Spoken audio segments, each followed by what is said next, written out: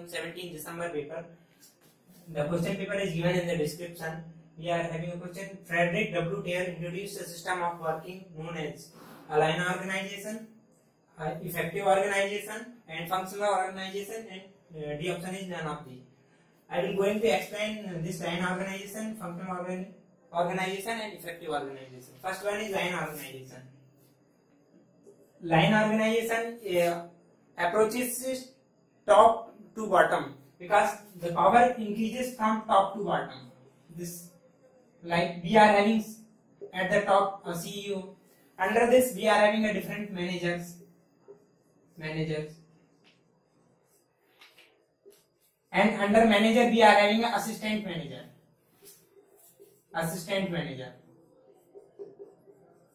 So uh, this is the top to bottom approach means uh, this is the line organization in which we follow top to bottom approach for power.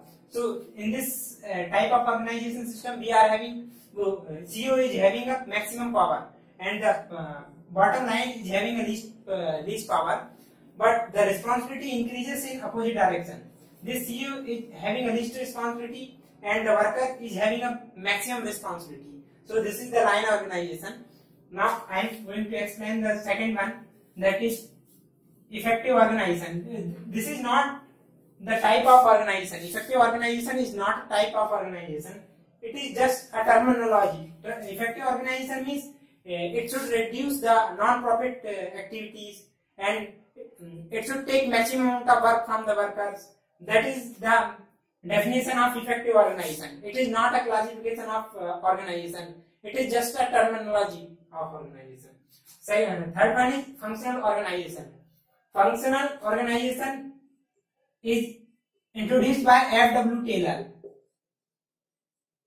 And this uh, line organization is introduced by J.T. Mooney. And functional organization is introduced by F.W. Taylor. F.W. Taylor, which is asked in question that Frederick W. Taylor introduced a functional organization. Now I am going to explain what is functional organization. Functional in functional organization at the top we are having MD and under leadership we are having a production manager means according to function we are having a different managers R&D R&D manager